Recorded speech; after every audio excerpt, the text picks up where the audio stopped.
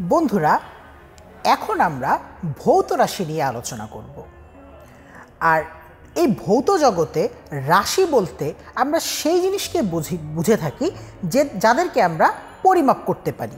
অর্থাৎ পরিমাপযোগ্য কোনো অংশকে আমরা রাশি দিয়ে প্রকাশ করতে পারি। এখন বস্তু জগতে কিন্তু আমাদের অনেক কিছুই পরিমাপ করা প্রয়োজন হয়।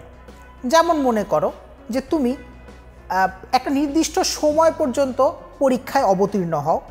তো ওই নির্দিষ্ট সময়টাকে তোমাকে কি করতে হবে? কোনো একটি ভাবে কিন্তু সেটাকে পরিমাপ করতে হবে যে তুমি কতক্ষণ ধরে পরীক্ষাটি দিয়েছ।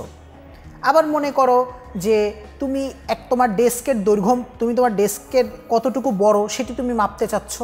তো সেই ডেস্কটিকে তুমি কিন্তু পরিমাপ করছ যে তার দৈর্ঘ্যটাকে তুমি পরিমাপ করছ এবং সেই দৈর্ঘ্য প্রস্থ পরিমাপ করে তুমি দেখছ যে ডেস্কটি কত বড় এবং তার থেকে তোমার বন্ধুর ডেস্ক বড় নাকি ছোট, এগুলোও কিন্তু তুমি তুলনা করতে পারছ।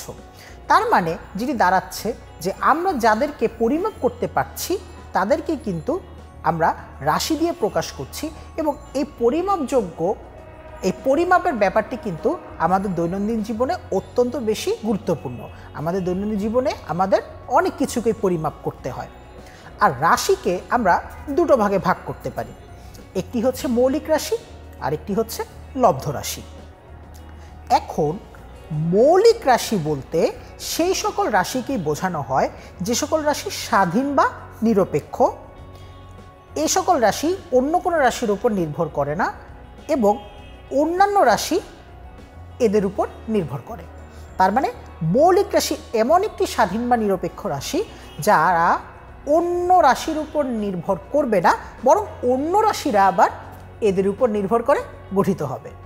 আর এই যে অন্য রাশি যেগুলা এই মৌলিক রাশিগুলোর উপর নির্ভর করে গঠিত হয়, সেই অন্য রাশিগুলোকেই আমরা আসলে বলছি হচ্ছে লব্ধ রাশি। অর্থাৎ যে সকল রাশিকে বিশ্লেষণ করলে একাধিক মৌলিক রাশির উপস্থিতি পাওয়া যায়, সে সকল রাশিকে আমরা বলছি হচ্ছে লব্ধ রাশি। এখনকার মতো তোমাদের জন্য এই ছিল রাশি এবং রাশির প্রকারভেদ সম্পর্কিত আমাদের প্রাথমিক আলোচনা। ভবিষ্যতে আরও অনেক মজার মজার টপিক সম্পর্কে জানতে হলে তোমরা অবশ্যই আমাদের সাথেই থাকবে।